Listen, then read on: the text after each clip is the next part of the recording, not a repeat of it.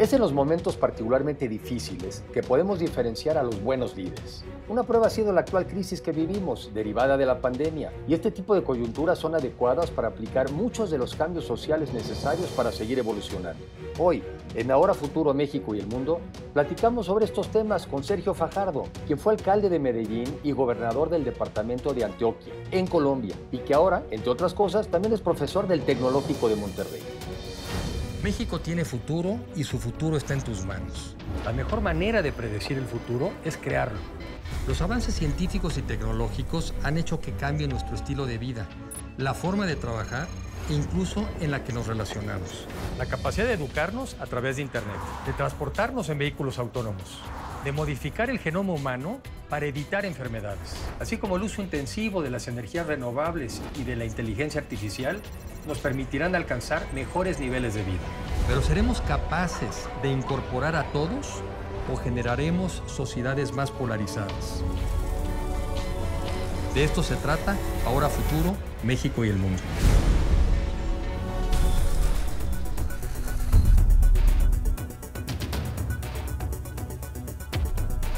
Las medidas que se tomen hoy van a tener impacto por muchos años. No es simplemente, y yo no creo esto, que vamos a hacer unas cosas hoy y que después cuando esto pase, si hay una vacuna o en dos años, volvemos a lo mismo. No, yo creo de hecho que es una oportunidad muy grande para cambiar el rumbo.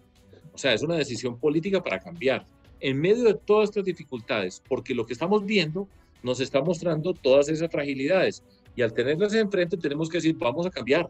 Yo, esto, repito, no debe ser para volver como estábamos, sino para movernos en otra dirección. Ahora, acá el sentido de todo esto, siempre que hay un liderazgo uno tiene que pensar a dónde voy. Si uno no sabe para dónde va, pues no va a llegar a ninguna parte. Y eso tan trivial, que suena tan elemental, a muchos se les olvida. Una característica de los gobiernos en una circunstancia de esta naturaleza tiene que ser la empatía, o sea, la empatía y la solidaridad.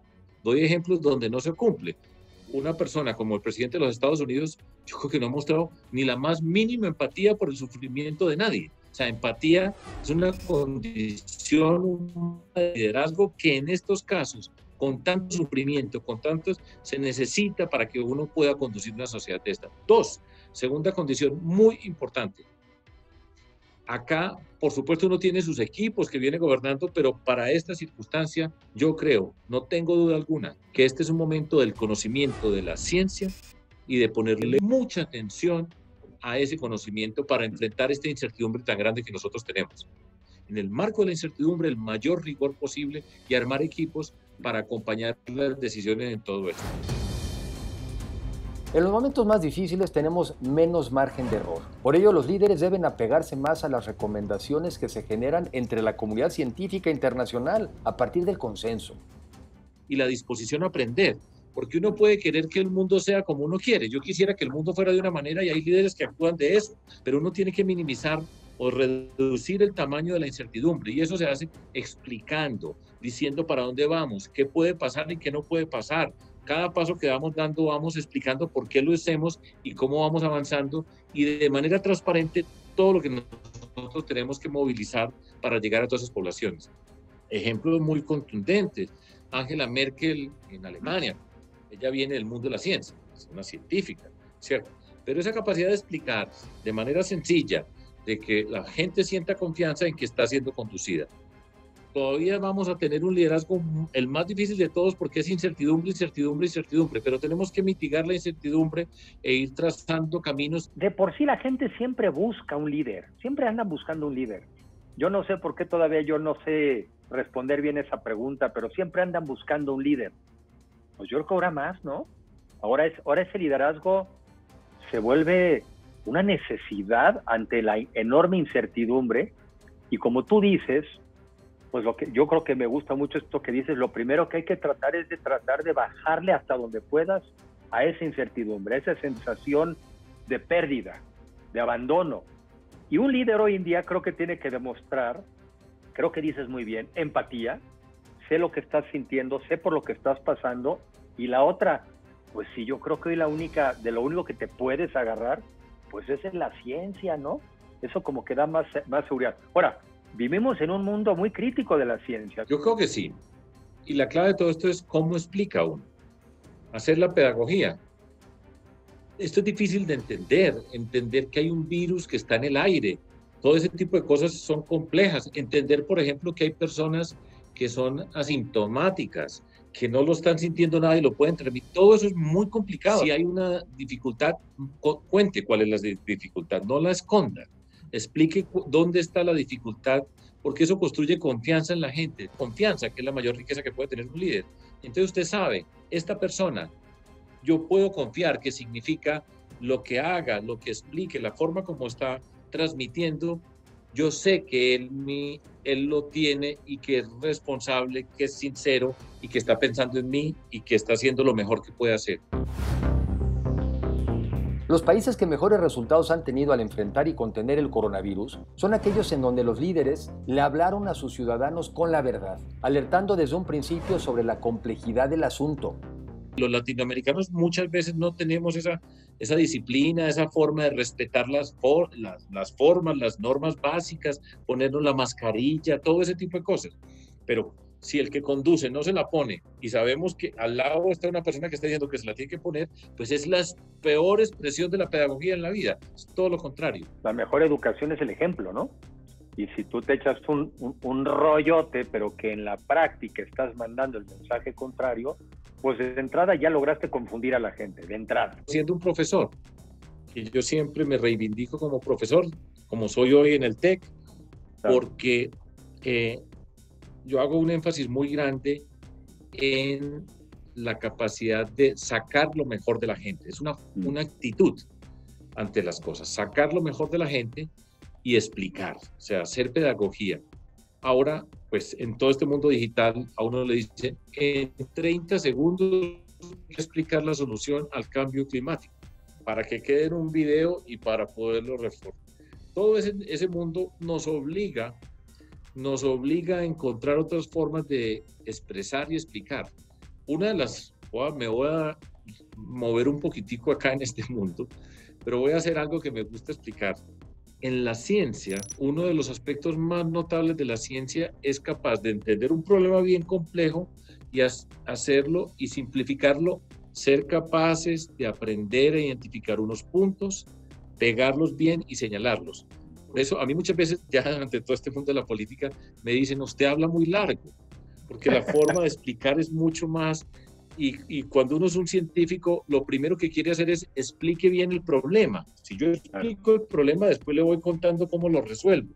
En política le, dije, le dicen, dé la solución de una vez, no se ponga a explicar el problema, que nomás que tiene 30 segundos. Eso siempre me ha costado mucho trabajo a mí, pero yo creo que se puede hacer explicaciones sencillas, sin trivializar las cosas, ese es el sentido de todo esto, sin volverlas una tontería, sino, pero ese es un aspecto, es muy apasionante dentro del mundo de las comunicaciones. Requiere que el que lo va a hacer entienda muy bien. Sí. Muy bien, porque pues usted es muy fácil ver cuando una persona está repitiendo algo que no tiene ni idea, pero sale a decirla de cualquier manera. Y hay unos magos, pues, para engañar a la gente y aparecen como unos sabios muy profundos. Pero esa es una tarea muy importante y difícil dentro de la política. Pero tiene razón que en ese sentido la, tarea de un profesor y sobre todo de un buen profesor, pues es el tratar de detectar qué es lo trascendente, lo relevante, y explicarlo de la manera más sencilla, lo cual ya tiene un arte, ¿no? Y como tú dices, parte del supuesto de que lo entendiste, este, y no solamente que lo repites. Eh, pero sí es una competencia difícil porque hay mucha gente en la política que más bien trivializa, simplifica, pero es lo que a la gente le, pareciera ser que le, le, resulta más fácil de entender, ¿no? E, es una, es una competencia complicada, ¿no? Es cierto, es cierto, pero, pero hay que darla y hay que perseverar. Yo, yo, siempre digo, persevere, trate de explicar. Yo por eso siempre digo, sea perseverante, sea coherente, sea consistente, y eso va a significar que la gente le cree a usted que con solo mirarlo diga, yo le creo. Y eso es lo más difícil que hay. Por eso ustedes ven en la política, una de las cosas más duras de la política es, son las mentiras, los engaños, porque quieren destruir la confianza que usted tiene. Sobre todo yo, yo, yo coincido totalmente en esta visión de que yo creo que hay una tarea cada vez más relevante y debiera ser en el mundo de la política, en cualquiera, en cualquier otro, pero más en el mundo de la política, que es donde, donde normalmente no lo hay, debe ser una convocatoria a la discusión de los temas y las diferentes maneras de enfrentarlo. Porque no hay una manera de enfrentar nada, no, hay una manera, no, es, no es solamente una manera. Pero me parece que una gran contribución ya sería estar tratando de explicar sobre las problemáticas, tratar de, tratar de ver si se llega o no a un diagnóstico común y después hablar de las diferentes alternativas. Y lo demás, pues ya es una negociación, ¿no? Lo demás ya es, bueno, de las alternativas que hay, ¿cuál tomamos? Eso del, eso del debate, y lo dijiste muy bien, hoy en día más bien se desacredita a la persona, a veces ante la incapacidad de desacreditar las ideas. El reto es cómo entrar al debate de las ideas sin tener que entrar al debate de las personas. Es importante que hagamos el esfuerzo de difundir y debatir cuestiones que nos afectan e involucran a todos, como son las políticas económicas, medioambientales, científicas y de inclusión social. Además, debemos de hacerlo de forma atractiva para los diferentes públicos y aunque no es ni será algo fácil, es necesario trabajar junto con ellos. ¿Qué ves hacia adelante después del COVID? Porque yo sí creo que, a ver, el golpe va a ser brutal, pero también va a aparecer una vacuna, porque creo en la ciencia, porque van a aparecer algún tipo de cóctel de medicinas que por lo menos van a garantizar que si nos enfermamos no nos muramos o no en las tasas en las que vamos. Entonces vamos a regresar a donde estábamos en el sentido de enfrentarnos a nuestros problemas que ya teníamos. Este, aún así te imaginas que va a haber va a haber la fuerza para poder querer hacer los cambios que requiere nuestro país y nuestros países y no, y no seguir en este mundo de vulnerabilidades? ¿O vamos a regresar a, pues ya no nos morimos, pues ya estamos bien? Bueno, ya como está regresando el mundo, la fiesta, estamos otra vez todos muy bien, muy contentos. En los países, en Estados Unidos, están armando las fiestas y se están contagiando los jóvenes. Pues esa va a ser la, la gran pregunta. Yo creo y quiero, porque no solamente lo que yo creo, sino lo que nosotros queramos y va a depender, por supuesto, de la política y cuál es el rumbo que trazamos nosotros desde la política. Yo, yo, y yo espero que esto sea para bien. Ahora, nos vamos a enfrentar unos años muy difíciles, muy difíciles en términos sociales en, nuestras, en nuestra Latinoamérica, y eso nos va a obligar a repensar el modelo de desarrollo. Yo estoy seguro que esto va a tener efectos en nuestras vidas particulares, los consumos, la manera como estamos viviendo. O sea, que hay una gran cantidad de lecciones muy grandes, muy grandes, que no las podemos echar bajo la alfombra para decir, bueno, esto ya pasó y volvamos a lo mismo. Pero ese es el reto político, esa, esa va a ser la gran discusión política. Y estoy seguro que, que esto tiene que cambiar y va a cambiar en la dirección que yo estaba señalando. Nuestra sociedad debe incentivar el surgimiento de liderazgos que sepan escuchar los consensos de la comunidad científica, que sean transparentes con los ciudadanos y sepan explicar las cosas de forma sencilla, pero también completa y sin ánimos convenientemente simplistas. Nuestra sociedad también requiere de líderes que sean empáticos y solidarios con sus gobernados. Un gobernante que no se puede poner en el lugar de los ciudadanos, sentir sus diferentes preocupaciones y que no puede entender el mundo en el que vive, difícilmente podrá guiarnos por el camino correcto. Los liderazgos son un reflejo de la sociedad y si queremos mejores resultados, somos los ciudadanos en conjunto quienes necesitamos impulsar a mejores líderes.